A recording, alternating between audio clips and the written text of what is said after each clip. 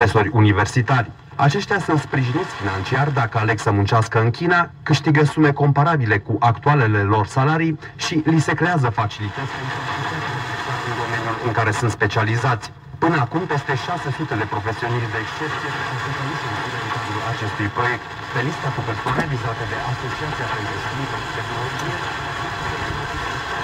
specialiști în diverse domenii. România Actualități. Ține pasul cu viața. Urmăriți Radio Jurnalul de Prânz, trei din cele nouă mandate de judecători la astăzi, iar procedura de înlocuire a lor nu a fost finalizată nici până în prezent, deși legea prevede că numirile trebuie făcute cu cel puțin o lună înainte. Doi dintre titulari trebuie desemnați de Parlament, câte unul de fiecare cameră și unul de președinție, iar până acum doar președintele și-a ales reprezentantul.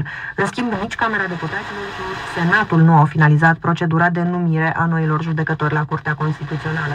De ce se hotărăsc atât de greu parlamentarii în această privință, ne spune Mădălina Radu.